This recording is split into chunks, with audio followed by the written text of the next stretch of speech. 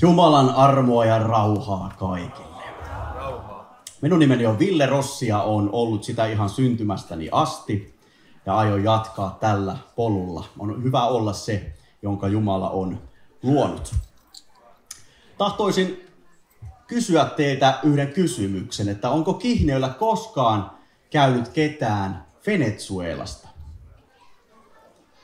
Uskon vahvasti, että vastaus on ei, mutta tänään teillä on kunnianarvoisia vieraita Venezuelasta, nimittäin rakas vaimoni Josneldi on sieltä kotoisin.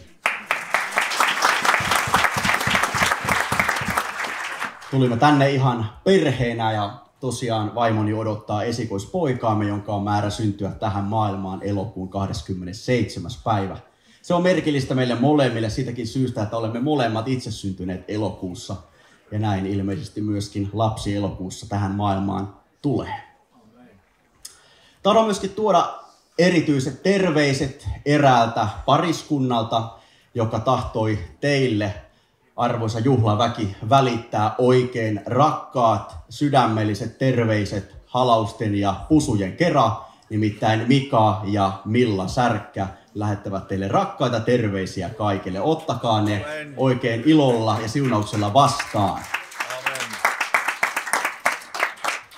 Mika on itselleni rakas työtoveri jo seitsemän vuoden ajalta, myöskin erittäin hyvä ystävä. Ja viimeisen vuoden ajan olemme saaneet olla mitä parhaimpia kalakavereita. Se on parasta käydä kalassa ja narrata haukia veneeseen. Ihan lyhkäisesti tähän ennen kuin mennään sanaan, niin tahtoisin kertoa jotakin vähän omasta elämästä ja esitellä hieman, hieman itseäni. 34 vuotta tulee elokuussa täyteen ja on ihan paljas jalkainen helsinkiläinen, jonka sydän toki on alkanut tässä viime vuosina sykkimään maaseudulle. Ihan siitäkin syystä, että vaimoni kanssa rakastamme kovasti mökkielämää. Jos on mökkiä, jos on järviä, jos on vene ja jos on kaloja järvessä, niin sinne mieli tekee. Se on jotakin sellaista kaunista ja on mahtava olla ensimmäistä kertaa täällä Kihniön juhannusjuhlilla Tämä on elämäni toinen kerta, kun Kihniöllä olen. Nimittäin saatiin palvella meidän seurakuntamme nuorten kanssa täällä 2019 vuoden ää, lokakuussa, jos en aivan väärin muista, oli oikein antoisa reissu ja siitä jäi oikein positiiviset kuvat kaikille. On syntynyt uskovaiseen perheeseen vuonna 87 ja isä ja äiti on silloin kuulunut muistaakseni Korson helluntai-seurakuntaan sieltä siirtyneet sitten myöhemmin Helsingin Saalemiin, jossa myöskin lapsuuteni olen saanut kokouksissa käydä.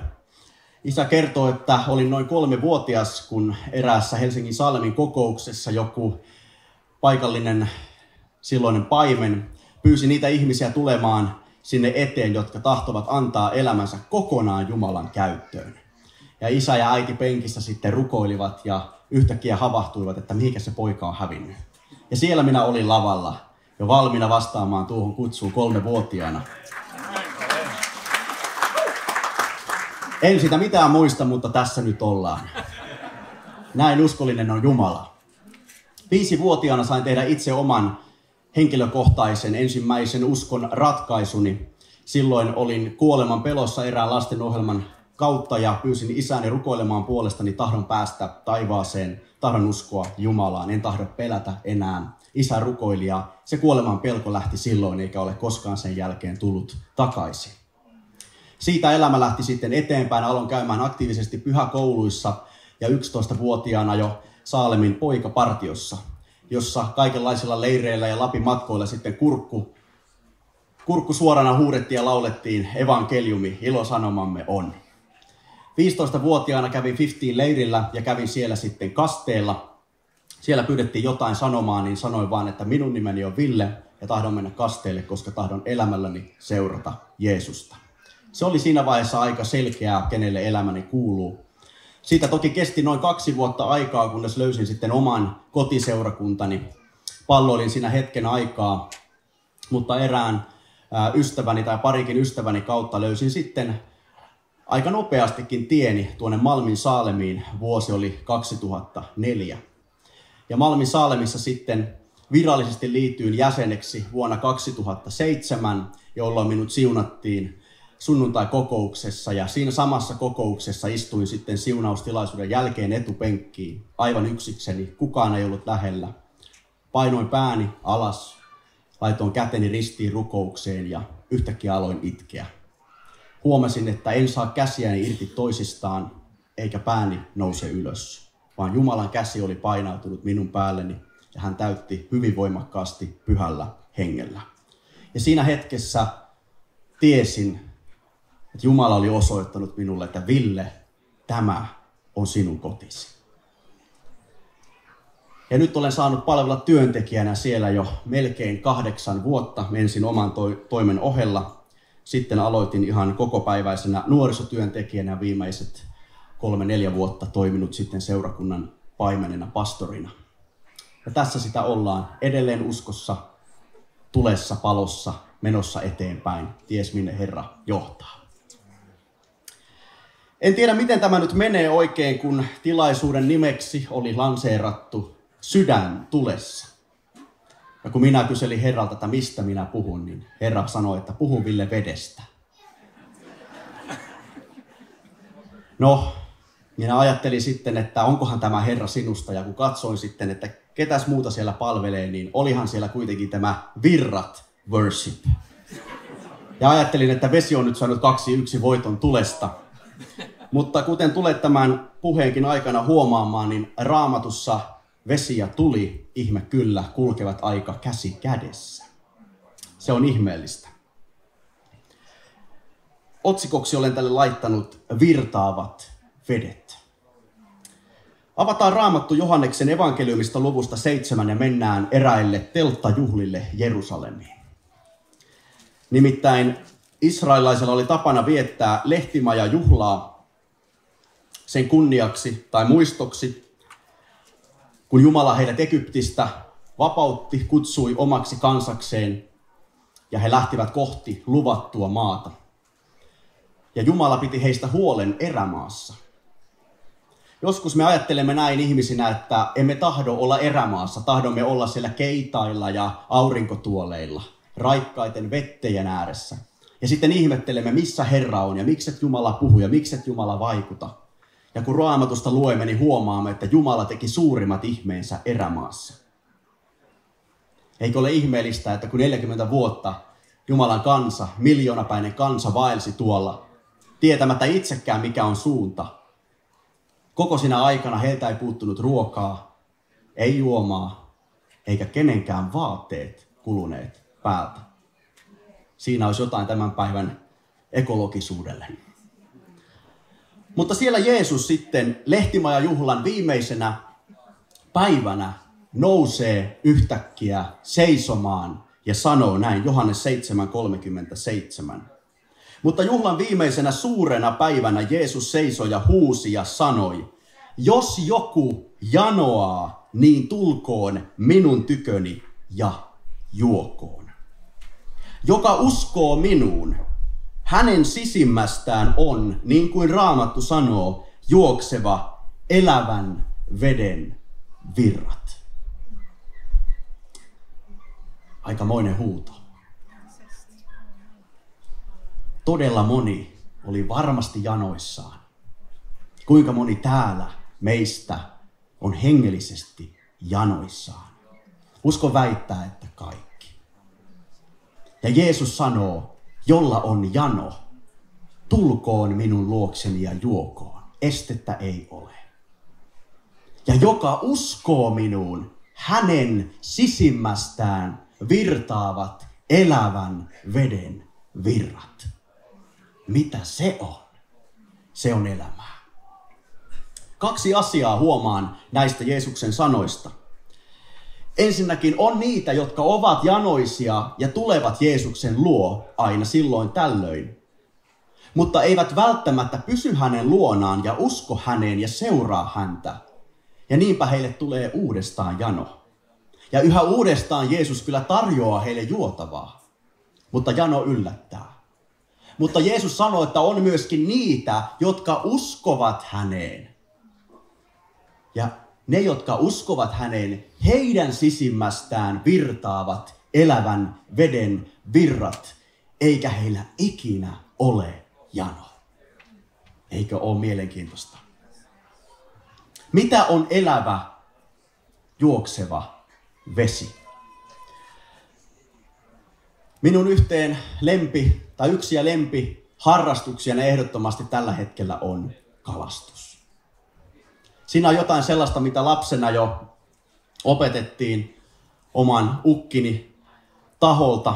Muistan, kun mentiin aina Jyväskylän Korpilahdelle saareen, jossa isovanhempieni mökki oli.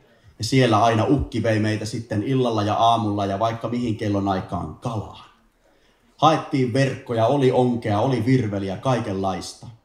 Jotain sieltä jäi minun sydämeeni ja kun olimme vaimoni kanssa viime vuoden kesällä sitten lomalla ja saimme eräältä seurakuntalaiselta pariskunnalta mökin viikoksi käyttöön ja siellä heitimme sitten mökkivirveliä ja kala tarrasi kiinni. Voi kerta kaikkia. Veri rupesi virtaamaan. Ja minäkin jäin koukkuun. Ja tämän lyhyen kalastushistorian aikana on huomannut, että on hyvin merkittävää se, millaisissa vesistöissä kalastaa ja pitää tietää, mistä kalaa lähtee hakemaan. Ei ole aivan sama, minne uistimensa heittää. Asun itse Helsingissä ja kalastusalueena se ei ole ehkä kaikista helpoimpia. Siellä on erittäin kova kalastuspaine, siellä on meri ja voi olla välillä vaikea löytää sellaista paikkaa, mistä, missä kala olisi, koska meri on aika laaja ja aika iso. Mutta yhden asian on oppinut, että jos jostain haluaa semmoisen aika varman kalapaikan, niin jonnekin sillan alle, jossa vesi virtaa. Siellä, missä vesi virtaa, siellä on elämää. Tuo virtavesi nimittäin kiinnostaa kaloja. Se tuo mukanaan paljon elämää, paljon syötävää, ravintoa. Siinä on jotain, joka vetää kalat tuonne virtapaikkaan. Helsingin Viikin lähellä on sellainen hyvin kaunis paikka kuin vanhan kaupungin koski. Se on mielenkiintoinen paikka, nimittäin siellä on tällaiset kalarappuset. Vantaan joki nimittäin laskee sieltä mereen. Ja jos jää vähän töllöttelemään siihen kalarappusille, niin huomaa, että pikku lohikalat hyppivät ylös vastavirtaan. Virrassa on jälleen elämää. Semmoinen sanonta kuuluu, kun että vain kuolleet kalat uivat myötävirtaan. Onko elämässäsi vastoinkäymisiä? Onko vastustusta? Elävät kalat uivat aina vastavirtaan. Se on elämää. Siinä on jotain. Elävä, juokseva vesi, se on sitä kosken pauhua, se on ääntä, se on liikettä, se on elämää. Johannes 10 ja 10, tuttu paikka, jossa Jeesus puhuu varkaasta ja myöskin itsestään. Hän sanoo, että on olemassa varas, sielumme vihollinen, joka on tullut ainoastaan tekemään kolmea asiaa. Siinä on hänen missionsa. Hän on tullut varastamaan, hän on tullut tuhoamaan ja hän on tullut myöskin tappamaan. Hän on tullut varastamaan meidän aikamme, meidän toivomme. Hän on tullut tuhoamaan meidän suhteemme Jumalaan, tuhoamaan meidän tulevaisuutemme. Ja hän on tullut tappamaan meidät hengellisesti ja jos mahdollista myöskin ruumiillisesti. Se on hänen agendansa. Ja vaikka hän miten houkuttelee meillä, meitä houkuttelevilla asioilla, niin lopputulos ei ole koskaan mitään hyvää. Mutta itsestään Jeesus sanoo nämä sanat, että minä olen tullut tuomaan elämän ja yltäkylläisyyden. Jeesus on tullut tuomaan elämän. Toisessa kohtaa hän sanoo, että hän on elämä. Voisi siis hyvinkin sanoa, vaikka tällä hetkellä tuntuu, että elämää etsitään maapallon ulkopuolelta. Ja ollaan ihmeissään, kun Marsista löytyy vettä. Ja mietitään, että onko elämää maapallon ulkopuolella. Mutta kannattaisi kysyä mieluummin, onko elämää Jeesuksen ulkopuolella? Ja vastaus on ei. Ei ikuista elämää, ei yltäkylläistä elämää. Mutta hänessä on molemmat. Israel on mielenkiintoinen paikka myöskin maantieteellisesti. Siellä on pitkä joki nimeltään Jordan. Se tarkoittaa hebrean kielellä laskea alas tai virta alas. Tuo joki alkaa Hermon vuorelta, sieltä korkealta. Ja vuoresta lähtee virtaamaan puhdas vesi, pitkin Jordan virtaa. Ja Israelista löytyy kaksi järveä. Toinen nimeltään Genesaretin järvi ja toinen nimeltään Kuollut meri. Molemmat saavat vetensä samasta Jordan virrasta. Toisessa näistä on valtava kasvusto, rehevä ympäristö, täynnä elävää, elämää oleva järvi, ja toinen niistä on pystyy kuollut. Kuinka se on mahdollista? Koska toisesta vesi virtaa myöskin ulos. Toinen vain vastaanottaa. Näin on myöskin meidän laitamme, jos me tulemme vain tilaisuuksiin, seurakuntaan ja kokouksiin vastaanottamaan. Mutta emme ala elämään sitä elämää, jota Jeesus meille tarjoaa, antamaan, menemään, lähtemään. Me kuolemme siihen hapokkuuteen, kun vain vastaanotamme ja vastaanotamme. Kuinka tällaisen yltäkylläisen elämän voi vastaanottaa? Kuinka sen voi saada? ainoastaan uskon kautta. No mitä on usko? Tarkastellaan sitä hieman seuraavaksi. Määrittelisin uskon näin, että se on toimintaa ilman takuita tai vakuuksia. Jumala ei koskaan anna meille ikään kuin sellaista vakuutusta, että mene tuonne ja tee sillä tavalla. Ja jos ei se onnistukaan, niin minä tuun sitten ja hoidan homman loppuun vaan hän antaa meille varmuuden, että jos hän sanoo, tule ja juo, ja sinä et koskaan enää janoa, niin se tarkoittaa sitä. Mutta täytyy ottaa ensin askel. Hebrealaiskirjeessä eräs raamatun, löytyy eräs raamatun lempiluvuistani. Hebrealaiskirje 11. Se oli myöskin erään uskon apostolin Smith Wigglesworthin lempilukuja. Hän saarnasi lähes aina ja poikkeuksetta tästä samasta luvusta ja samoista ajatuksista. Mutta se on tuoretta tänäänkin. Siellä puhutaan uskosta ja mitä on usko ja uskon esikuvat ja kuinka usko meidän elämässä todella ilmenee.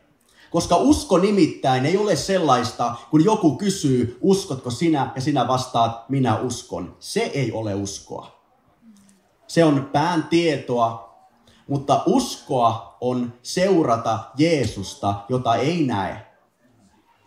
Joka ei välttämättä koskaan puhu korvin kuultavin äänen, mutta jonka tietää näkymättömin silmin olevan olemassa ja kutsuvan ja vievän ja johdettavan. Usko on sen näkemistä, jota ei nähdä. Täällä sanotaan hebrealaiskirja 11, jakeesta kuusi eteenpäin. Mutta ilman uskoa on mahdoton olla otollinen, sillä sen, joka Jumalan tykö tulee, täytyy uskoa, että Jumala on ja että hän palkitsee ne, jotka häntä etsivät. Uskon kautta rakensi Noa, saatuan ilmoituksen siitä, mikä ei vielä näkynyt. Pyhässä pelossa arkin perhekuntansa pelastukseksi. Ja uskonsa kautta hän tuomitsi maailman ja hänestä tuli sen vanhurskauden perillinen, joka uskosta tulee. Uskon kautta oli Abraham kuuliainen, kun hänet kutsuttiin lähtemään siihen maahan, jonka hän oli saava perinnöksi, ja hän lähti tietämättä, minne oli saapuva. Tätä on usko. Meillä on esikuvia uskosta. Usko ei ole siis vain sanoja, minä uskon, vaan usko on sitä, kun Jumala sanoo sinulle, rakenna iso laiva. Ja siinä se. Ja sitten aletaan rakentamaan. Vaikka Noa ei ammatiltaan ollut laivarakentaja, ei mitään hajua, miten laiva rakennetaan.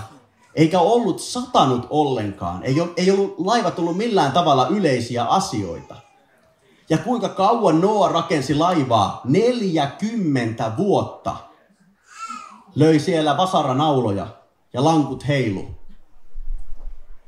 Eikä Jumala antanut Noolle minkäänlaisia vakuuksia tai takuita, että jos joku tulee pilkkaamaan sinua tästä, niin minä sitten isken salamalla. Vaan Noa otti myöskin kaiken sen häpeän päällensä. 40 vuotta kaveri rakentaa laivaa. Sai varmasti kylähullun leiman. Tämä on aivan kilahtanut mies. Kunnes vesipisarat alkoi tippumaan taivaalta. Ja ainoa, joka oli turvassa, oli Noa. Tähän meidän uskomme perustuu. Koska eränä päivänä myöskin Jeesus palaa. Ja tulee se aivan viimeinen päivä. Kukaan meistä ei tiedä milloin se tapahtuu, mutta se on varmaa, että se tapahtuu, koska Raamattu niin sanoo ja siitä puhuu niin usein ja niin paljon. Ja silloin ei merkitse se, kuinka paljon on kokenut häpeää tai kuinka paljon ihmiset on pilkannut, vaan onko arkki, onko laiva, jossa pelastautua. Abraham sai kutsun Jumalalta ja lupauksen. Minä tulen antamaan sinulle perillisiä, tekemään sinusta kansan, antamaan sinulle maan. Mielenkiintoisia sanoja miehelle, joka on hyvin vanha, eikä kykene saamaan lapsia. Vaan näin Jumala lupasi. Ja kun Jumala sanoi, että lähde siihen maahan, jonka minä annan, niin Abraham sanoi ja teki ja lähti. No lähdetään sitten. Ja Raamattu kertoo, että hänelle ei ole mitään aavistustakaan, missä se maa on. Mutta hän lähti liikkeelle, koska Jumala sanoi, lähde. No me tiedämme raamatusta, kun me luemme, että myöhemmin Israelin kansa sitten astui kirjaimellisesti siihen maahan ja otti sen maan omakseen, aivan kuten Jumala oli luvannut. Mutta usko on siis toimintaa. Se on sitä, kun Israel on sitten Jordan virran, tuon kuuluisan joen äärellä. Ja ollaan matkattu pitkä maa, kuivaa erämaata – kohti sitä luvattua maata ja vihdoin ollaan tultu siihen virran äärelle, Jordan joen äärelle, jonka, joka pitäisi ylittää. Lupaukset odottaa, mutta ensin suorittamisen täytyy vaihtua uskoksi. Koko erämaan ajan Israel oli tukeutunut lakiin, jonka johtajana Mooses toimi. Mutta Jumala sanoi, että Mooses, sinä et astu siihen maahan, koska Mooses edusti lakia, vaan siihen maahan johdattaa kansan Joosua, joka edustaa uskoa. Joosuan nimi, Herra on, pelastus on sama nimi kuin Jeesuksella. Mennään tuonne Joosuan kirjaan lukuun kolme. Katsotaan sieltä, kuinka tämä ylitys tapahtuu.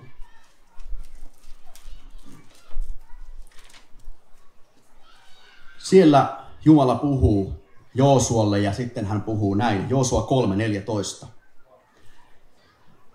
Jumala oli siis puhunut, että nyt on aika lähteä liikkeelle he näkevät virran edessään, joka kuohuu yli äyräiden.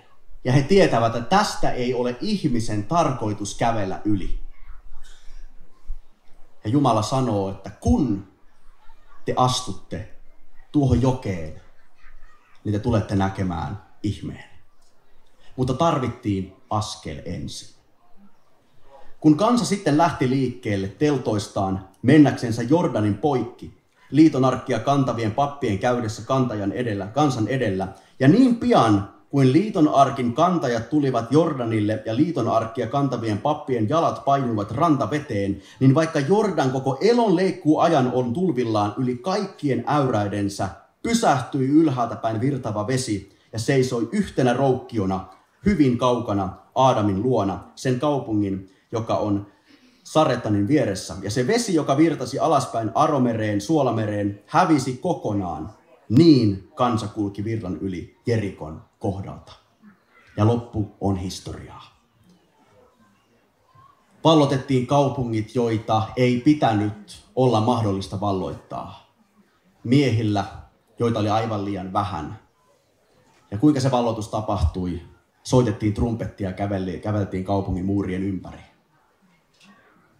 ihmeellisiä asioita tapahtui. Mutta kun tehtiin niin kuin Jumala oli pyytänyt tehdä, niin Jumala sitten teki ihmeitänsä. Niinpä kun Jeesus tuolla lehtimaja juhlassa huutaa, että joka, jonka on jano, niin tulkoon minun juokseni, luokseni ja juokoon. Jotta voi juoda, täytyy ensin tulla. Ensin täytyy ottaa tuo askel. Minä otin askeleen vajaa kaksi vuotta sitten, tai puolitoista vuotta sitten. Joosuan kirja tuli itselleni valtavan rakkaaksi vuonna 2018 loppupuolella. Ja luin sitä ja sellainen uskon henki alkoi vaikuttaa minussa. Ja aloin ymmärtämään, että mitä tämä usko oikein on. Tämä ei ole sellaista hiljaa paikallaan olemista ja sellaista itselleen toistamista, että minä uskon, minä uskon, kyllä minä uskon ja ollaan vaan paikallaan ja passivoiduta, vaan mä ymmärsin, että usko on vallottamista, se on menemistä, se on julistamista, se on sitä, että Jumalan voima näkyy ihmisen elämän kautta. Ja siinä ei uskota itseensä ollenkaan, vaan siinä uskotaan uskon alkajan ja täyttäjään Jumalaan ja hänen poikaansa Jeesukseen, joka istuu valtaistuimella. Ei ole kysymys meidän uskon määrästä, vaan meidän uskon kohteesta. Ja minä aloin ymmärtämään, että jos minä uskon tähän samaan Jumalaan kuin Joosua ja Kaaletkin uskoi, niin kyllä niitä ihmeitä alkaa sitten tapahtumaan. Ja tuli 2018 joulukuu ja joulujuhla seurakunnassa. Ja tapana on aina kukittaa pastorit ja antaa semmoinen joulukori sitten lahjaksi ja, ja sanoa, että kiitos tästä ihanasta vuodesta. Ja sinne aina pastorit tulevat vaimoinensa. Ja minä koko elämäni olen ollut sinkkuna. Ja menin sitten sinne, tai olin menossa, kunnes pastori Mika, rakas Mika Särkkä sitten rohkaisee nuorta poikamiestä ja sanoo, tule sinäkin Ville tänne eteen jälleen kerran yksin. Ja reaktio oli sama kuin teillä nyt, hieman voimakkaampana vain. Koko seurakuntaa rohkaisi minua naurullansa. No, minä niin vakava mielinen ole, että näistä ottaisin itseeni.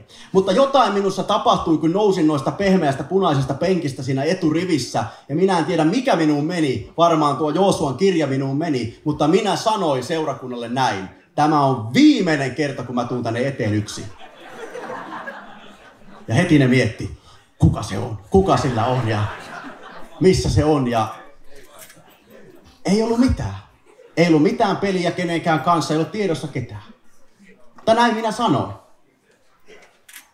Ja tiedätkö, sitten rupesi tapahtumaan. Ja kun tuli 2019 joulukuu, niin kihloissa oltiin ja tulin eteen, mutta en enää yksin.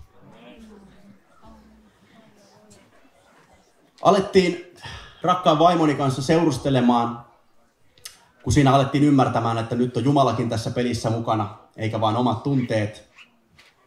Puoli vuotta ehdittiin olemaan parisuhteessa, kun sitten pohdin, että mitä tässä nyt enää sitten aikaa kuluttaa, että kyllä se on kosimishommia alettava järjestämään ja miettimään sitten yhteistä elämää. Ja sitten sitä kosittiin ja alettiin järjestämään häitä. Ja jos et tiedä, tai jos haluat tietää, mitä on stressi, niin ala järjestämään häitä. Tulee aivan uusi ulottuvuus sille, mitä on stressi. Ja kun minä pidin itseäni jotenkin niin semmoisena organisointitaitoisena, ja kyllähän mä tämmöisenä tekijämiehenä, niin kyllähän nämä nyt järjestyy ja kaikki menee hyvin. Mutta käsitin aivan uudella tavalla, mitä on stressi. Sanotaanko näin, että ennen häitä minulla oli hiukset sitten oli aika hieman häiden jälkeen niin ajaa ne pois, mitä oli enää jäljellä. Herralle kiitos. Tuli kuitenkin hetki, 2020 mentiin naimisiin 22. 2020, 22.2. siis. Ja täytyy saada esteettömyystodistus. No, suomalaisilta se hoituu hieman helpommin. Mennään maistrattiin ja pyydetään, että ottakaapa selvää meidän taustoista. Mutta kun vaimo oli Venezuelasta ja Suomessa ei ollut sillä hetkellä eikä edelleenkään ole sen poliittisesta tilanteesta johtuen toimivaa konsulaattia eikä toimivaa suurlähetystöä, niin homma hieman mutkistui. Ja tilattiin tuo esteettömyystodistus jo sitten siinä lokakuussa hyvissä ajoin kuukausia ennen, ennen tuota häitä. Ja ajateltiin, että kyllä se varmaan sitä tulee, että pari kuukautta ehkä menee, mutta sitten se on. Ja tuli tammikuu, oli puolessa välissä jo tammikuuta, ja häät pitäisi järjestää reilu kuukauden päästä, eikä paperia kuulu mistään.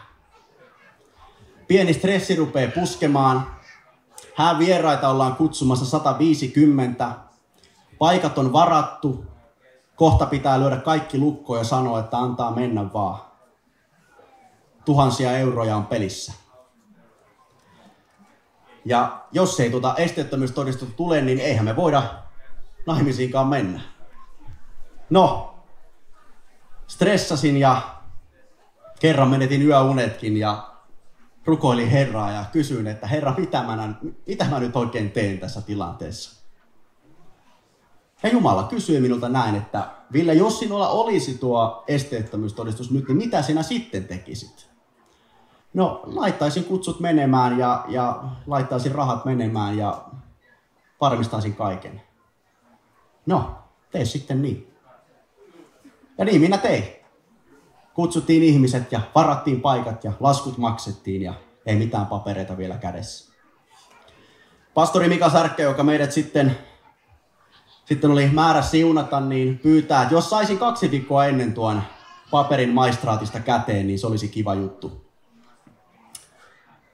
Ja niin kävi sitten, että paperit tulivat, oli kirjoitusvirheitä ja ei ollut sitä käännöstä, mikä oli auktorisoitu EU-ssa ja moni asia pielessä ja vietiin se maistraatti. Ja sieltä se todistus tuli. Tasan kaksi viikkoa ennen häitä löin paperi Mikalle käteen ja sanoi, tässä se nyt on. Ja naimisiin mentiin. Pidettiin mahtavat 150 hengen hääjuhlat ja meidät vihittiin sekin ihme Helsingin tuomiokirkossa – ja sitten kun päästiin naimisiin ja oltiin yhdessä, niin sitten tulikin korona. Ja kaikki meni kiinni. Herran ajoitusta tämäkin. Mutta tuli se hetki, jossa minunkin, minutkin kutsuttiin toimimaan uskossa, vailla näkemistä, vailla ilman paperia kädessä, että tällä minä voin mennä naimisiin. Sanottiin vaan, että tee niin kuin paperi olisi jo kädessäsi. Ja niin minä toimin. Ja sitä on usko. Minä horjuin Herra ei. Usko, se on valloitusta, se on kuuliaisuutta ja se on yhteyttä. Se on elämää. Siinä on jotain. Siinä on ihmeitä ja merkkejä ja Herra ne tekee. Ei me niitä itse pystytä saada aikaan, mutta sellaisen elämään, joka eletään Jeesukselle ja yhteydessä häneen, siihen kuuluu myöskin ihmeet, merkit, johdatus ja kaikki se, mistä Raamattu puhuu. Minä sen käsitin, kun luin Joosuan kirjaa. Ymmärsin, että erottava tekijä Joosefissa ja Kaalvissa ja kaikissa niissä muissa oli ainoastaan usko. Kyllä Herra varmasti meille antaa sen maan. Tuossa lehtimaja juhlassa, kun Jeesus sanoi, jolla on jano, niin tulkoon minun luokseni ja juokoon. Ja joka uskoo minuun, hänestä on virtaavat nuo elävän veden virrat. Ja jae 39 jatkaa, että sen hän sanoi pyhästä hengestä, jonka oli määrä tulla mutta ei vielä ollut tullut, koska Jeesusta ei vielä ollut kirkastettu. Minulla on iloisia uutisia sinulle. Jeesus on kirkastettu ja pyhä henki on jo tullut. Hän on jo täällä, meidän keskellämme, valmiina tänäänkin täyttämään sinut. Niin että sinunkin sisimmästäsi alkaa virrata elävän veden virrat. Ja sitten alkaa kuulkaa tapahtumaan. Miksi meille annettiin tuo pyhä henki? Mitä varten? No, se on voimaksi tehtävää varten. On olemassa nimittäin tehtävä, ja se ei ole mikään sellainen tehtävä, jota pastorit joskus sitten sanoo, että siunataan muuten lähetystyötä ja annetaan vähän rahaa lähetystyölle ja ollaan mukana tässä lähetystyössä. Täällä kun pastoreiden keksintö, vaan koko raamattu on täynnä lähetystyötä. Ja kaikki oikeastaan raamatussa puhuu siitä, että usko Jumalaan on tarkoitettu kaikille maailman kansoille ja kaikille maailman sukupolville. Raamattu alkaa lähetyskäskyllä tai lupauksella.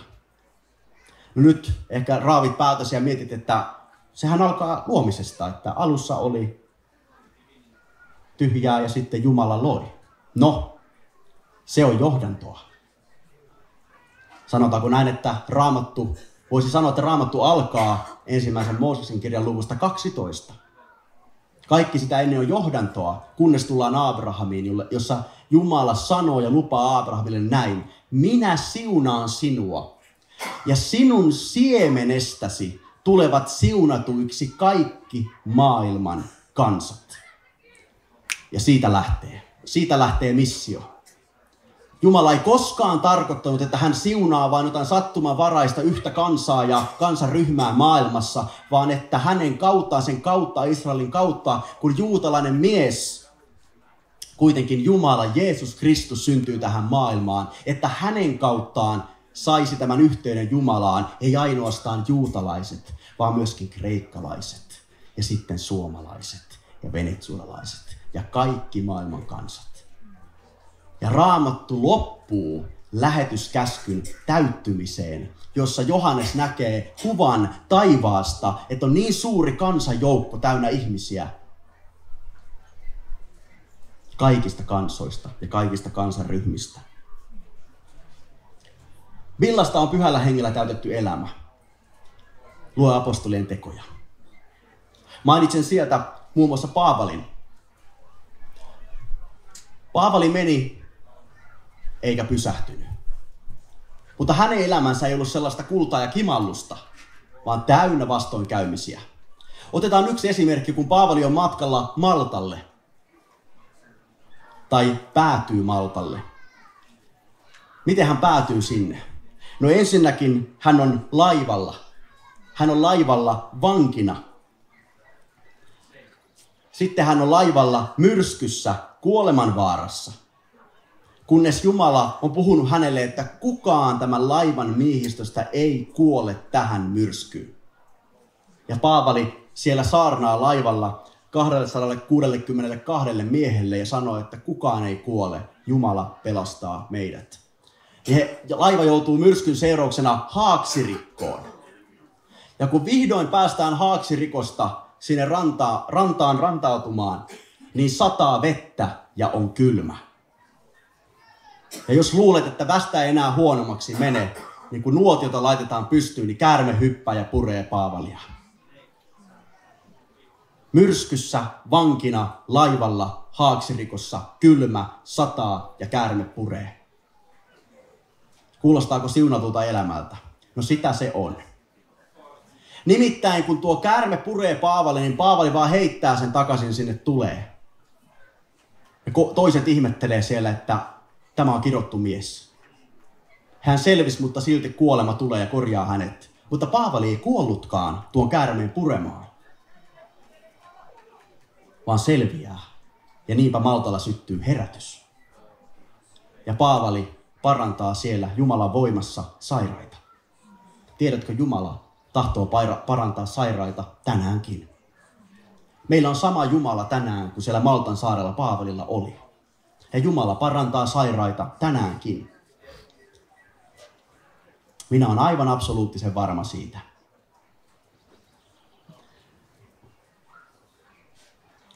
Joskus tuntuu, että meillä on vain vastoinkäymisiä, mutta kun nimenomaan kaiken sen rikkinäisyyden ja vastatuulen seurauksena voi syntyä niin valtavia siunauksia elämään, ettei ole oikein uskominenkaan. Tätä on hengen johtama elämä. Jeesus puhui pyhästä hengestä ja hän viittasi tuolla Lehtimaja juhlalla siihen Jesajan kirjan kohtaan, jossa sanotaan, että, että siellä ää, minä vuodatan ää, virtani ja vuodatan henkeni kaiken lihan päälle. Teidän lapsienne päälle. Ja myöhemmin Joel profetoi sitten, että viimeisinä aikoina Jumala vuodattaa henkensä kaiken lihan päälle. Ja kun tuli helluntai ja Pietari saarnaa, niin enää ei sanottu, että tulee aika, vaan Pietari sanoi, tämä on nyt sitä, mistä on puhuttu. Ja enää ei sanota, että sitten jossain vaiheessa tapahtuu jotain, että Jumala sitten tulevaisuudessa vielä täyttää hengellä, vaan sanotaan, että tänään ja tässä kokouksessa ja tämän kokouksen jälkeen Jumala täyttää hengellänsä ja hän myöskin parantaa sairaita. Kun Pietari pitää sitten tuon saarnansa, niin moni saa piston sydämeensä ja ymmärtää olevansa syntinen ja vailla pelastusta vailla Jumalan armoa.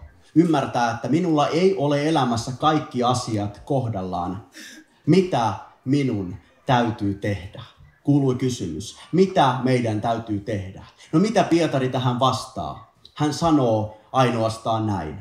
Tehkää parannus. Kääntykää pois niiltä pahoilta teiltänne ja tehkää parannus ja ottakaa kaste. Ja uskokaa Jeesukseen niin te saatte lahjaksi myös sen luvatun pyhän hengen. Ja ketä tämä lupaus koskee? Pietari sanoi, että se koskee teitä ja teidän lapsianne ja kaikkia, joita Jumala missä ikinä kutsuukin. Jumala kutsuu tänään. Se lupaus koskee sinua ja sinun lapsiasi ja sinun lastesi lapsia.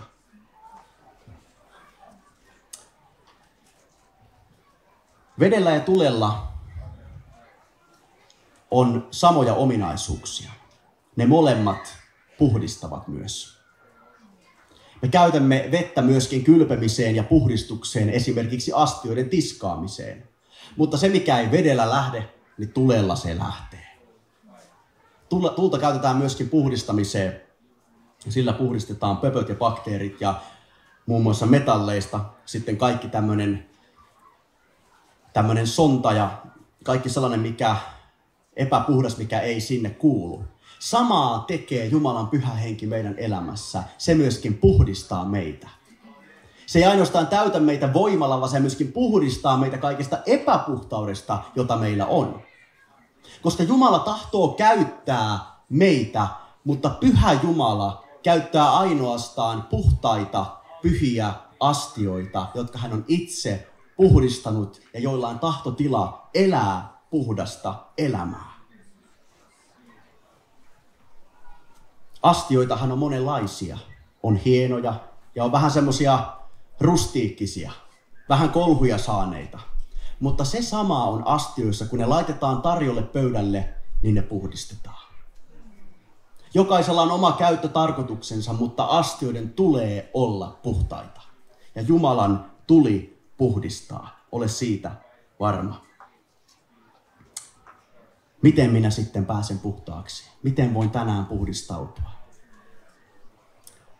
Jeesuksen veri. Se on verraton tahranpoistoaine. Aikansa parhaita myyntimiehiä Johannes Kastaja jo kertoi, että Israel, te tiedätte sitä pesuaineesta laista, joka voi kyllä peittää synnit, mutta on tulossa parempaa. Ja hän on tuossa, tuo Jumalan karitsa Jeesus Kristus, joka ei peitä syntejä, vaan ottaa ne pois. Evankelista Reinhard Bonkelta erässä TV-lähetyksessä eräs ateisti kysyi tai sanoi, että minä en usko Jeesuksen vereen. Se on ollut 2000 vuotta ja 2000 vuotta siitä on puhuttu ja saarnattu ja maailma on edelleen tällaisessa kaauksessa ja pimeydessä. Minä en usko Jeesuksen vereen. Ja Bonke sitten vastaa, että minä en usko saippuaan. Ja tuhansia vuosia on ollut jo saippua ja hän näkee joka puolella likaisia ihmisiä. Mutta se, että on saippua, se ei puhdista sinua, vaikka sinä olisit töissä saippua tehtaassa. Ainoastaan, jos sinä käytät sitä saippua itseesi, sinä olet puhdas. Samalla tavalla, jos sinä käytät tuota Jeesuksen verta itseesi ja puhdistat annat sen puhdistaa itsesi, niin vasta sitten sinä huomaat, kuinka se vaikuttaa tuohon syntiseen elämääsi ja liityt niiden satojen miljoonien joukkoon, jotka laulavat, että meillä on voitto, voima, voima ihmeinen nimessä, veressä Jeesukseen. Mahto olla ateisti hämmissään. Mutta näin se on. Jeesuksen veressä on voima ja Jumalan henki tahtoo edelleen meitä täyttää ja käyttää. Mutta meidän täytyy haluta sitä ja tahtoa sitä. Tähän aivan loppuun tahdon lukea erään pätkän aivan raamatun lopusta vielä. Johanneksen ilmestyksestä luvusta 22. Raamatun viimeinen luku. Tahdon viedä meidät hetkeksi taivaaseen ymmärtämään, mitkä maisemat odottavat niitä, jotka tahtovat elää uskossa Jeesukseen ja antaa pelastaa itsensä. Ja hän näytti minulle elämän veden virran, joka kirkkaana kuin kristalli juoksi Jumalan ja Karitsan valtaistuimesta. Keskellä sen katua ja virran molemmilla puolilla oli elämän puu, joka kantoi 12 hedelmät, antaa joka kuukausi hedelmänsä, ja puun lehdet ovat kansojen tervehtymiseksi eikä mitään kirousta ole enää oleva. Ja Jumalan ja Karitsan valtaistuin on siellä oleva, ja hänen palvelijansa palvelevat häntä. Ja näkevät hänen kasvonsa, ja hänen nimensä on heidän otsissansa. Eikä yötä ole enää oleva, eivät he tarvitse lampun valoa, eikä auringon valoa, sillä Herra Jumala on valaiseva heitä, ja he hallitsevat aina ja iankaikkisesti. No elämän veden virrat, Jumala näytti ne Israelin kansalle erämaassa, kun Mooses kolautti sauvallansa kallioon. Ja sieltä kovasta kalliosta kuivalle maalle Jumala teki virrat erämaan keskelle. Jeesus sanoi, joka tulee hänen luoksensa ja juo sitä vettä, jota hänellä on antaa. Hän tarkoitti pyhää henkeä ja uskoo häneen. Hänestä on virtaava nuo elävän veden virrat. Siinä on elämää, siinä on ääntä, siinä on puhtautta. Ja sitten Johannes, joka Patmoksen saarella hänkin vangittuna näkee näyn taivaasta. Ja siellä taivaassakin hän näkee elämän veden virrat, jotka antoivat elämää ympärille. Siellä, missä on Jumalan pyhä henki, siellä on elämää. Sinne, missä vesi virtaa, siellä kasvaa, siellä tapahtuu. Tiedän, että Jumala tahtoo tänään meitä koskettaa. Täyttää pyhällä hengellä, puhdistaa, uudistaa ja jälleen ikään kuin karistaa pölyt. Tai ensimmäistä kertaa antaa sinulle anteeksi kaikki sinun pahat tekosi antaa sinulle uuden identiteetin Jeesuksessa, uuden elämän, uuden tarkoituksen, mutta myöskin tehtävän. Ja tehtävää varten on luvattu voima. Ja se voima on todellista. Ja kun siinä voimassa sanotaan uskon sanoja, että tämä on minun viimeinen kerta, kun minä tuun tänne eteen yksin, ja alkaa tapahtua. Sellaista on usko, sellaista on virtaavat vedet meidän sisällämme. Ja nyt me rukoilemme ja me pyydämme, että Jumalan virrat alkavat tulvimaan. Herra Jeesus, me kiitämme siitä uhrista, jonka sinä annoit Kolkatan keskimmäisellä ristillä. Se ei ollut halpa uhri, se ei ollut ilmainen uhri, vaan se maksoi sinulle kaikista suurimman hinnan, oman henkesi. Vapaaehtoisesti Herra tuli tähän maailmaan tietäen, että kenestäkään meistä ei ole pelastamaan ja korjaamaan omaan elämäämme ja, ja itseämme.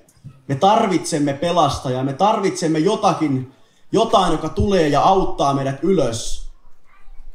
Ja Herra Jeesus, se olet sinä tänäänkin. Ja tuo veri, joka on vuotanut, ei ole mikä tahansa veri, vaan se on syytön, puhdas, Jumalan karitsan, Jeesuksen veri. Ja siinä veressä on tänäänkin voima puhdistaa ja antaa kaikki sinun syntisi anteeksi. Ja Jeesus, me kiitämme, että siinä veressä on uudistava voima. Niin kuin veri meissäkin virtaa ja antaa meille elämän ja voiman, se sykkii ja vie kaiken ravinnon, Herra, meidän lihaksiimme ja elimistöömme, niin samalla tavalla Jeesuksen veri antaa meidän hengellemme uudenlaisen voiman. Ja me heräämme elämään kuolemasta, elämään uskon todellisuutta, elämään sellaista todellisuutta, joka näillä omalla, omilla ruumiillisilla, fyysisillä silmillä me emme näe sitä, mutta hengessä me voimme sen nähdä ja tietää sen todeksi, Herra. Me tiedämme, Herra, että sinä olet totta tänään. Raamattu sen ilmoittaa, että sinä et ole muuttunut, eikä sinulla ole parasta ennen päiväystä, eikä tehtävää ole vielä saatettu loppuun, vaan edelleen kutsu käy. Antakaa pelastaa itsenne ja saatte niin myöskin se luvatun pyhän hengen lahjaksi. Teitä tämä lupaus koskee, teitä ja teidän lapsianne ja kaikkia, joita ikinä meidän Jumalamme kutsuu omikseen. Herra, me olemme tässä sinun kasvojesi edessä. Me kiitämme ja ylistämme, mitä olet tehnyt. Anna meidän alkaa elämään uutta elämää sinussa, hengen voimassa. Ja kosketa Jeesus tälläkin hetkellä niitä sairaita kohtia kehossa, Herra, kun joku sairastaa tai on pitkäänkin jo sairastanut selkäkipua, polvivaivaa, syöpää, kasvainta, kovaa päänsärkyä, unettomuutta, Jeesuksen nimessä lähteköön pois tässä hetkessä ja tulkoon terveys kaikkiin soluihin, koska Jeesus elää ja Jeesus on Herra ja hän on parantaja ja hänen suonistaan virtaa edelleen voima ja edelleen parannus ja hän edelleen täyttää pyhällä hengellä ja hänellä on edelleen ne lupaukset meille, eikä ne ole vanhentuneet, vaan niihin voidaan astua ja niissä voidaan elää ja voidaan mennä niin kuin Joosua ja Kaaleb ja valloittaa niitä kaupunkeja, valloittaa niitä Kristukselle, Jumalan valtakuntaan, Kihniö, Virrat, Helsinki, ympäri Suomea Jeesukselle voittaa sieluja, koska siitä on kysymys, että meitä olisi tuo lukematon määrä eri sukupolvista ja kaikista kansanryhmistä ylistämässä Herraa taivaassa pelastuneiden joukko, joka sanoo pyhä, pyhä, pyhä. Tätä me Jeesus tahdomme. Jää meitä koskettamaan, täyttämään tulella ja anna meidän sisältämme virrata nuo elävät vedet, että meidän elämämme on sellaista niin kuin tuo vesivoima, jossa me olemme turbiini. Me olemme turbiini ja kun turbiini pyörii veden voimasta, niin se tuottaa energiaa ympärilleen. Mutta ei ole kysymys turbiinista, meistä, vaan siitä pyhästä hengestä, joka vaikuttaa, mutta sen täytyy myöskin vaikuttaa meidän kauttamme. Näin sinä Jumala tahdot. Herra, olemme tässä edessäsi, etsimme sinua, pyydämme. Tee ihmeitäsi myöskin tänään. Innoita meitä, Herra, eteenpäin. Vie meitä, Herra, kohti sellaisia näköaloja, jossa meidän täytyy sanoa, että minulla ei uskoa ole tähän, mutta uskon siihen Jumalaan, joka sanoo, mene ja ota se maa haltuusi. Amen. Amen.